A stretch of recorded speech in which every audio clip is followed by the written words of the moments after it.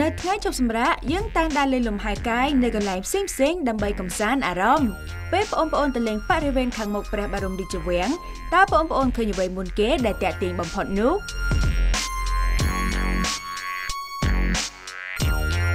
អាហាត្រូវហើយ គឺសត្វព្រាប សត្វព្រាបគឺជាប្រភេទសត្វស្លាបដែលមានក្បាលតូចខ្លួនធំនិងមានជើងពីរខ្លីៗពួកវារស់នៅសឹងតែគ្រប់ប្រទេសនៅលើពិភពលោក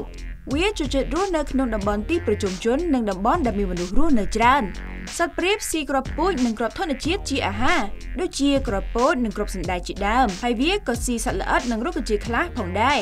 ជាពិសេសបើបងប្អូនឲ្យចំណីពួកវា2ទៅ3ដងនោះពួកវានឹងចំណាំមុខបងប្អូនហើយនឹងហៅមករកបងប្អូនដោយខ្លួនឯង បងប្អូនដឹងអត់កាលពីសម័យមុនណាគេប្រើប្រាស់សត្វព្រាបជាអ្នកនាំសារសម្ងាត់ឬសារផ្សេងផ្សេងដែលគេហៅថាព្រាបនាំសារនោះអីព្រោះវាពូកែចងចាំទីកន្លែងណាស់ពួកវាអាចស្វែងរកផ្លូវទៅដល់គោលដៅបានយ៉ាងជំនាញបើទោះបីជាត្រូវហើរពីចំណុចផ្សេងក្នុងចម្ងាយឆ្ងាយក៏ដោយតែសម័យនេះគេប្រើប្រព័ន្ធអ៊ីនធឺណិតម្ដង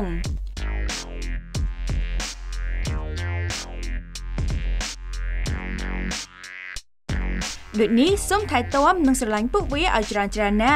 ព្រោះសត្វព្រាបជាសត្វស្លូតនិងតំណាងឲ្យសន្តិភាព។